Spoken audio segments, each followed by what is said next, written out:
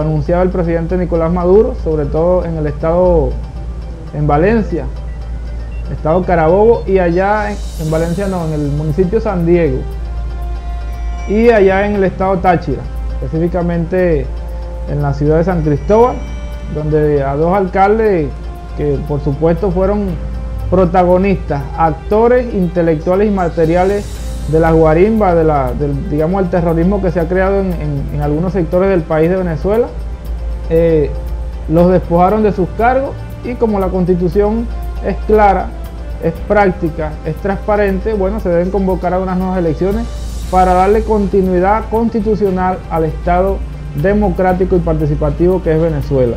Ya por ahí nos, acota el colega José Pino que supuestamente es Roque Valero para el municipio de San Diego, en Valencia. Oye, no lo, es el candidato del PSUV. No lo sé, pero sí... sí ¿Está de acuerdo Miguel Bermúdez con esa... mira, a la manera de ver, yo creo que zapatero a su zapato.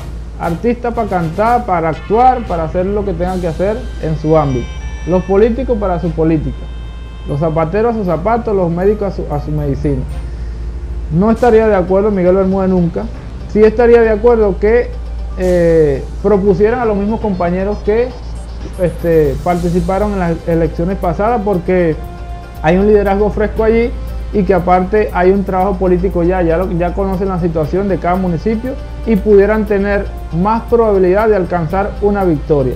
Sabemos y entendemos que cualquiera que pongan de la revolución va a obtener victoria porque el pueblo que es sabio, es consciente, es coherente, va a decir si gana la derecha vamos a seguir en lo mismo, las guarimbas, que se trancaron, que si quemaron las bombonas de gas, que si este, cerraron el mercado, que no va, no a haber universidad abierta.